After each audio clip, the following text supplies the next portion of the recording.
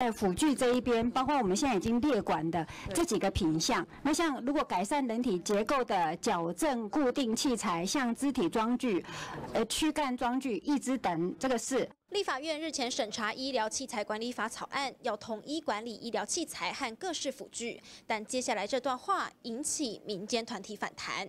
用于行动障碍或不良之辅助器器材，像助行器、医用手杖、轮椅、电动代步车等这些，这是昨天晚上我们特别把我们已经有的品项整理出来的。不要以为辅具这件事情只有身心障碍者或失能老人会使用，电动代步车也是老人里面重要的行动工工具。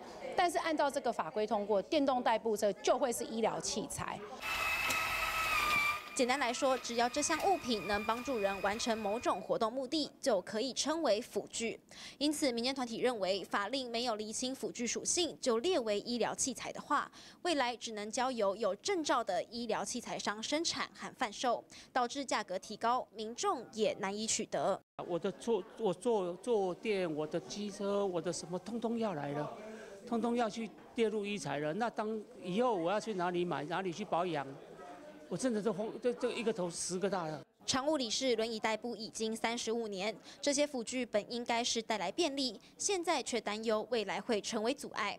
希望政府能听见声音，和民间团体讨论之后，再立法进行管理。